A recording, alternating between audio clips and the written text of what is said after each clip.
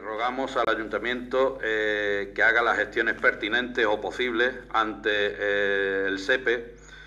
para que en estos días eh, que han finalizado las campañas hortícolas de la zona se agilice el sistema de cita previa, ya que muchas personas que ya han solicitado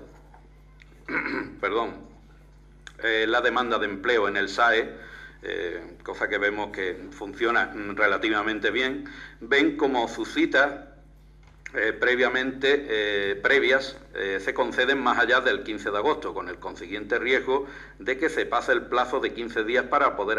tener derecho a la prestación de desempleo que le corresponda a los y las desempleados.